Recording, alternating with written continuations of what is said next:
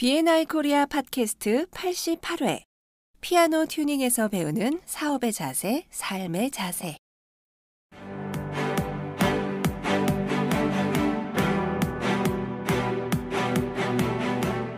여러분은 지금 BNI 코리아 공식 팟캐스트를 듣고 계십니다.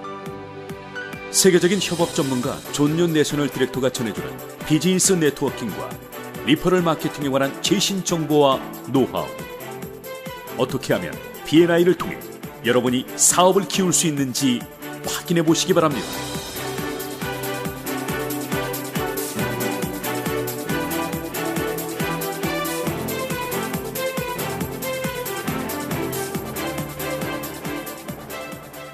안녕하세요. 들을수록 매출이 쑥쑥 오르는 BNI 코리아 팟캐스트. 저는 아이오 스피치 커뮤니케이션 대표 윤혜경이고요.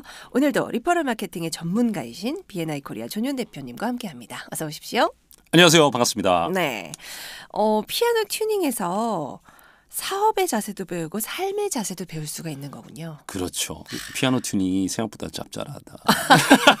근데 듣기로는 그 전문가들이 점점 없어지고 있어서 그쵸. 이 튜닝할 사람들이 점점 없어져서 또 피아노를 옛날에는 네. 집집마다 하나씩 있었잖아요. 그- 그랬는데 요즘 피아노 안 사는 데도 많고 없기도 하고 전자 피아노 맞아요. 때문에 저는 이 피아노와 얽힌 사연 하나 있는데 어렸을 네. 때. 저희 엄마께서 치던 피아노가 저희 집에 있었어요. 아, 그래요. 그러니까 굉장히 오래된 피아노잖아요. 네네. 그래서 얘가 건반이 막 주저앉은 애들도 있고 네네. 소리도 별로 이렇게 음이 안 맞고 이랬는데 네. 그거를 그런 줄만 알았는데요. 초등학교 몇 학년 때인지 이제 처음으로 어머니가 불러주신 거예요. 튜닝 아, 하시는. 튜닝 하신 분을. 저는 그런 게 있는지 몰랐던 네, 거예요 네, 그동안. 네, 네, 네. 근데 그 아저씨가 다녀가신 후로 피아노가 제대로 소리를 다 낸 거죠. 아, 진짜. 제 기억에 네. 기뻐서 눈물이 났던 때가 그때가 인생 최초였어요. 저 그날 밤에 정말 많이 울었거든요. 아, 진짜로. 왜냐면 그게 무슨, 계속 무슨 치- 의미의 울음이었을까, 그게? 좋아서 너무 좋아서. 치고 싶었는데 얘가 고장이 나서 못 치는 피아노였거든요. 아, 너무 귀엽다, 근데. 몇 학년인데? 애기가 몇한 학년? 4학년쯤 됐던 것 4학년. 같아요. 10살. 작년은 그 그렇게 하기엔 좀 크기도 한데. 순, 아, 순수했구나. 네, 그래서 피아노 치는 거 어렸을 때 좋아했었는데 아. 그게 튜닝되고서 전 너무 기뻤던 기억이 나요. 아직도. 아, 오늘 얘기하려는 거하고도 관련이 있네요. 네네. 아, 그 피아노 튜닝인데요. 피아노 튜, 튜닝을 얼마나 자주 해야 되는지 아세요? 글쎄요. 그냥 일반적으로는 한 6개월에 한 번? 그게 1년에 피아노 튜닝이 안 되면 지금 이런 사태가 발생이 되는 거죠. 그죠? 막 어, 그 음이 엉망진창이 되는 그쵸. 거죠. 그죠? 음정이 다 내려앉고 떨어지고. 맞아요, 네. 맞아요. 어, 피아노는 어, 제가 이걸 위해서 뭐 원래 피아노 전문가가 아니기 때문에 네? 찾아봤는데 네. 어, 구매 첫 해에 예. 2회에서 4회 튜닝을 하고 아, 처음에 처음에 그다음에 둘째 해에는 2회를 하고 1년에 두 번. 1년에 두 번. 그다음에는 적어도 1년에 한 번 정도를 아. 계속해서 해 줘야 된답니다. 왜 그러냐면 피아노라는 게 원리가 전자 피아노가 아닌 바에야. 현이잖아요. 현이잖아요. 네. 끈이에요. 끈. 네, 네. 실이 끈인데 그 끈을 팽팽하게 당기고 있는 음. 건데 계속해서 팽팽하게 당구, 당기고 있으면 어떻게 되냐? 이게 아, 긴장이 계속되면 이게 끈이 늘어나서 느슨해지고 그런단 네, 말이죠. 네. 그래서 그거를 이제 감아주는. 네, 감아주고 조율을 해줘야 되는 거예요. 네. 아, 그렇지 않으면 이제 피아노가 제 음이 안 나는데 그렇죠. 마찬가지로 사람도 그렇고 사- 우리의 인생도 그런 것 같아요. 음. 제가 이거를 왜 생각을 하게 됐냐면 최근에 제가 좀 일상이 무너졌었어요. 어. 제가 항상 베스트일 때가 아침에 아, 5시 전후에 일어나서 음. 108배를 하고 명상을 하고 그 다음에 6시 좀 전에 나가서 챕터 미팅에 방문을 한다거나 이렇게 하는 게 저한테는 제일 베스트예요. 네.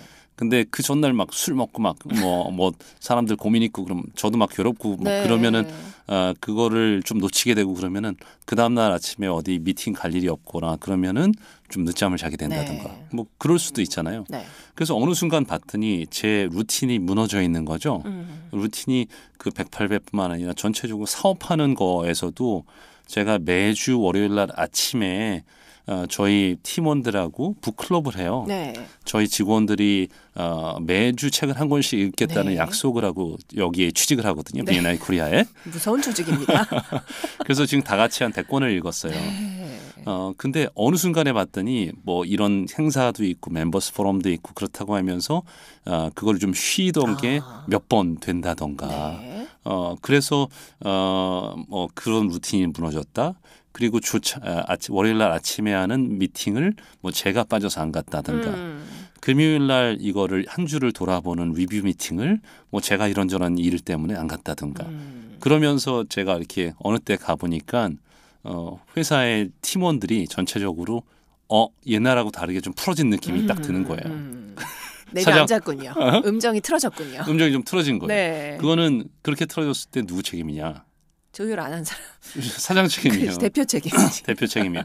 제가 아 제가 그거를 조율을 제때 잘 안 했기 때문에 이게 흐트러지는 거죠. 네. 그 흐트러지는 거는 결국 저의 반영이란 말이죠. 음. 그래서 아 이걸 내가 조율을 해야 되겠다라고 해서 아, 좀 다시 자, 다잡은 게 있는데요. 네. 챕터도 마찬가지입니다. 챕터도 잘 한다고 그냥 일, 하던 대로 하던 챕터들이 어느 순간에 보면 주저앉아 있어요. 네.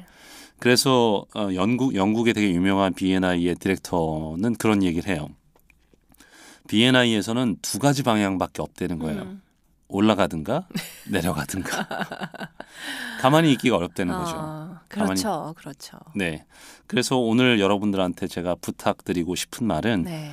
어, 이 어, 그 피아노도 아, 정기적으로 이렇게 튜닝을 해줘야지 제 아름다운 소리가 나는데 우리가 팽팽한 긴장감을 가지고 일상을 계속 살면 네. 어, 이 음이라든가 루틴이 무너지게 되는데 어, 여러분의 일상은 안녕하시냐? 음. 그걸 어, 그러면 어, 루 튜닝을 어떻게 할 것이냐, 언제 할 것이냐 이런 걸 좀 같이 한번 생각해 보자는 의미에서 네. 어, 이 얘기를 꺼냈습니다. 네. 아, 피아노 튜닝 그냥 어, 피아노 소리 잘 나고 예쁜 소리 나네에서 그치지 않고 이렇게 사업과 인생까지 연결시키는 우리 B&I 코리아 존윤 대표님의 통찰력에 또 한 번 감탄하면서 왜 그래요? 요즘 근데 도대체 예? 요새 좀 띄워드리기 버전으로 제가 좀 나가고 있습니다. 아, 기 살려드리기 버전으로. 아 근데 네. 어, 그뭐 저는 기분이 좋은데요. 네. 멤버들은 까는 게 훨씬 좋대요. 그럼 제가 또 다음 시간부터 또 그런 버전으로 아니 하도 까가지고요. 준비하겠습니다. 아니 그, 그 대표님이 하도 까가지고요. 제가? 제가 이, 이마가 까졌잖아요.